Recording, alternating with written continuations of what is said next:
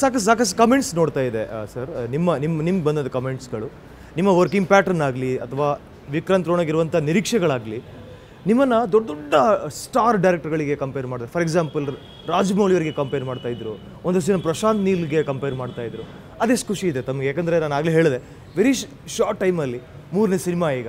ಆ ಮೂರನೇ ಸಿನಿಮಾಗೆ ಜನ ನಿಮ್ಮನ್ನು ಅಂಥ ದೊಡ್ಡ ನಿರ್ದೇಶಕರು ಕಂಪೇರ್ ಮಾಡ್ತಾರೆ ಅಂತಂದಾಗ ಒಂದು ಕಡೆ ಬ್ಲೆಸ್ಡ್ ಮತ್ತೊಂದು ಕಡೆ ಜವಾಬ್ದಾರಿ ಕೂಡ ಜಾಸ್ತಿ ಆಗಿದೆ ಅನ್ಸುತ್ತೆ. ತಮಗೆ ಎಷ್ಟು ಖುಷಿ ಅನ್ಸುತ್ತೆ ಆ ಥರದೆಲ್ಲ ಬೆಸ್ಟ್ ಕಾಂಪ್ಲಿಮೆಂಟ್ಸ್ ಬಂದಾಗ?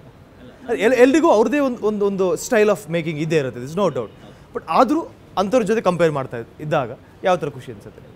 ಅಂದರೆ ನನಗೇನಂದರೆ ನಾನು ಕಂಪ್ಲೇಂಟ್ ಇದೆ ನೀವು ಅದನ್ನ ಆಮೇಲೆ ಹೇಳಬೇಕಾಗತ್ತೆ. ಈ ಸಿನಿಮಾದ ಮೇಲೆ ನೀವು ಕೈಗೆ ಸಿಗಲ್ಲ ಕನ್ನಡ ಸಿನಿಮಾ ಮಾಡಲ್ಲ ಇವರು ಅವ್ರು ಮೋಸ್ಟ್ಲಿ ಹಾರ್ಕೊಂಡು ಹೋಗ್ತಾರೆ ಹೀರೋಯಿನ್ಗಳು ಹೆಂಗೆ ಹಾರ್ಕೊಂಡು ಹೋಗ್ತಾರೋ ಹಂಗೆ ಹಾರ್ಕೊಂಡು ಹೋಗ್ತಾರೆ ಅನ್ನೋದೊಂದು ಆರೋಪ ಕೂಡ ಇದೆ ನಿಮ್ಮ ಮೇಲೆ. ಓಕೆ ಸೊ ಇದು ಯಾವುದಕ್ಕೆ ಫಸ್ಟ್ ಆನ್ಸರ್ ಮಾಡಿ? ಮೊದಲೇದಾಗಿ ಕಂಪ್ಯಾರಿಸನ್ ಅಂತ ಬಂದಾಗ ಫಸ್ಟ್ಲಿ ನಾನು ನನ್ನ ಸಿನಿಮಾ ಮಾಡ್ತಾ ಇದ್ದೀನಿ ಅಷ್ಟೇ. ಬಿಯಾಂಡ್ ದ್ಯಾಟ್ ಕಂಪ್ಯಾರಿಸನ್ ಇದೆಲ್ಲ ಆಡಿಯನ್ಸಿಗೆ ಬಿಟ್ಟಿದ್ದು. ಆ್ಯಂಡ್ ಎರಡನೇದೇನೆಂದರೆ ಮೊದಲಿಂದನೂ ನಾನು ಗೆದ್ದಾಗಲೂ ಜಾಸ್ತಿ, ಅದರಿಂದ ಉಬ್ಬಿಲ್ಲ, ಸೋತ ಕುಗ್ಗಿಲ್ಲ.